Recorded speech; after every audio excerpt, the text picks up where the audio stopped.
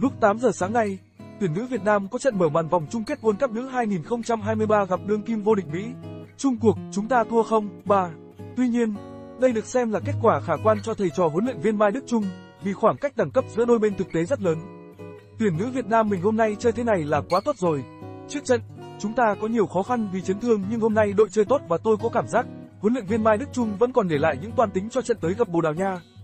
Khi ta còn toan tính cho trận gặp Bồ Đào Nha mà đá thế này trước Mỹ thì quá tốt rồi, không thể mong đợi hơn. Tất nhiên, cũng phải nói thêm vì đây là trận mở đầu nên tuyển Mỹ đá cũng chưa thật sự chân chu. Đó cũng là thuận lợi cho chúng ta BLV Quang Huy nhận định.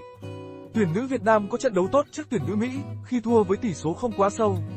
Khi hỏi kỹ hơn về những sự chuẩn bị của huấn luyện viên Mai Đức Chung cho trận gặp Bồ Đào Nha, 27 tháng 7 năm 2023, BLV Quang Huy tiếp, Vân, Kiều, Hải Yến những người bị chấn thương hôm nay vào sân để bắt nhịp dần là một cái tốt. Ví dụ Trương Thị Kiều khi vào sân có mắc lỗi khiến đội thua bàn thứ ba.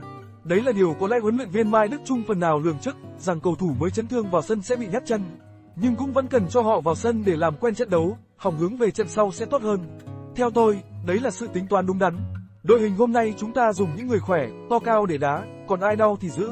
Nhưng hiệp 2, những cầu thủ đang bình phục chấn thương được tung vào sân và họ thi đấu mỗi lúc một tốt hơn. Đấy là những tín hiệu tốt. Trận gặp Bồ Đào Nha sẽ đáng để xem. Tôi tin trận Bồ Đào Nha đáng để chúng ta chờ đợi. Trước Mỹ, chúng ta vẫn có những pha phản công nhưng do ngư,